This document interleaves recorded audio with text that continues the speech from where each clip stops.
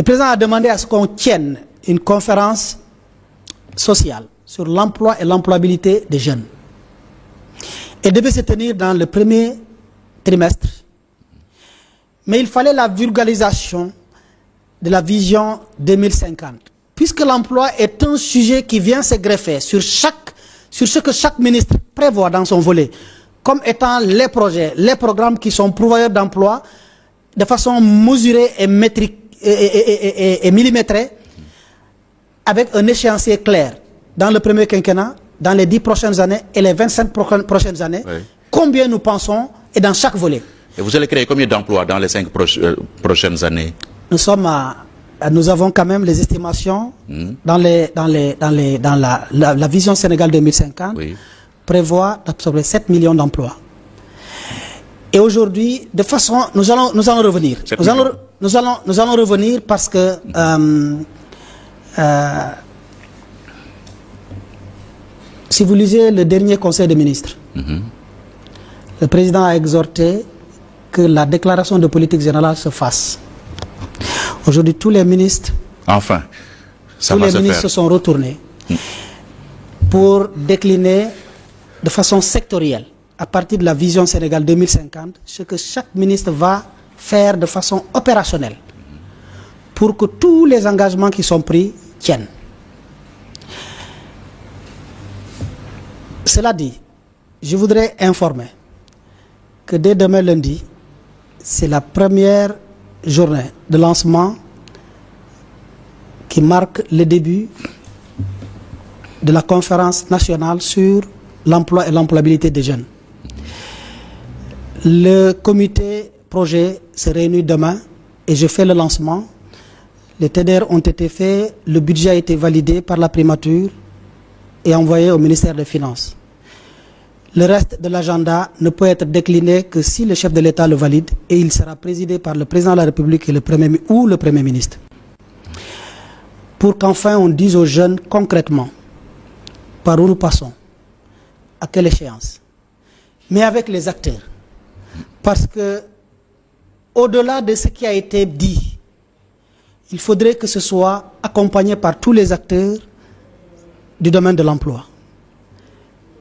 Parce que le président de la République veut que syndicats, patronats et même partis politiques se rencontre pour discuter de cette question qui, pour lui, est une question qui relève de la souveraineté nationale.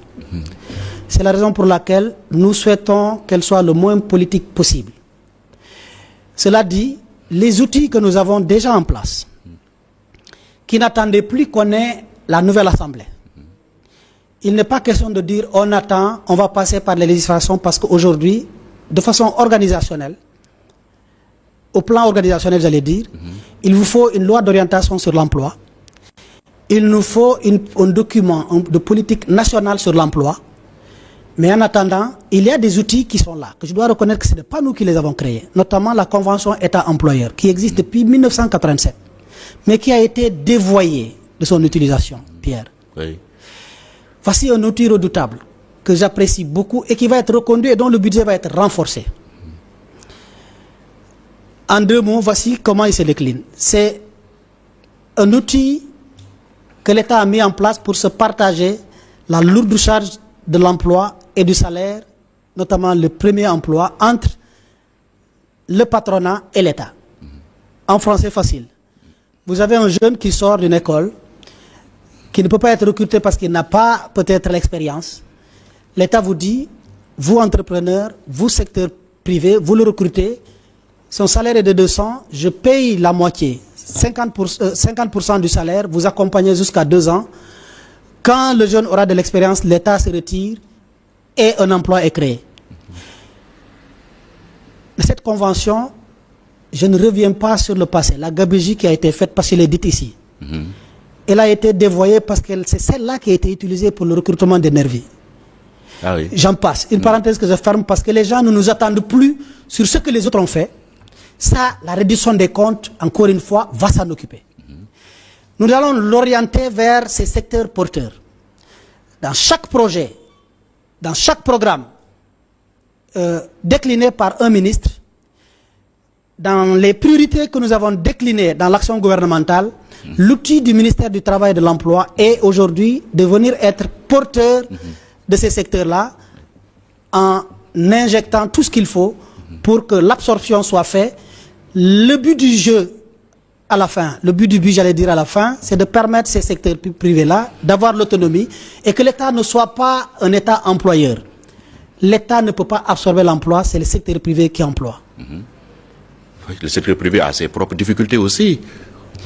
Le secteur privé a ses Oui, propres difficultés, mais nous croyons, nous croyons à l'économie endogène. Mais cette difficulté-là, comprenez ce programme de, euh, de ce- ce- ce- cet outil que j'appelle État employeur est venu pour soulager le secteur privé, Oui. mais l'aider dans euh, la prise en charge, la prise en charge euh, de la masse salariale. Parce que c'est celle-là qui est le point euh, difficile, même pour un entrepreneur qui vient de démarrer. Euh, sa préoccupation, c'est comment euh, gérer la masse salariale. Mais êtes-vous en train de demander donc à ces jeunes-là au chômage de prendre leur mal à- à- à- en patience? Parce que là, pour la mise sur pied de tout- tout- toutes ces choses-là que vous venez de nous dire, ça, ça va prendre du temps. Non, euh, je suis en train de le dire les deux choses en même temps. Les deux choses, oui. D'être un tout petit peu patient. Parce que nous sommes dans une sorte de changement systémique qui demande des réformes en profondeur. Vous aurez, auront cette Un instant, un instant, un instant, un instant. Je suis en train de le dire les deux choses. D'être un tout petit peu patient, ça, je le demande. Mais en même temps, je suis en train de leur dire qu'une nouvelle assemblée a été mise en place, a, a été élue. Sa mise en place ne va pas tarder.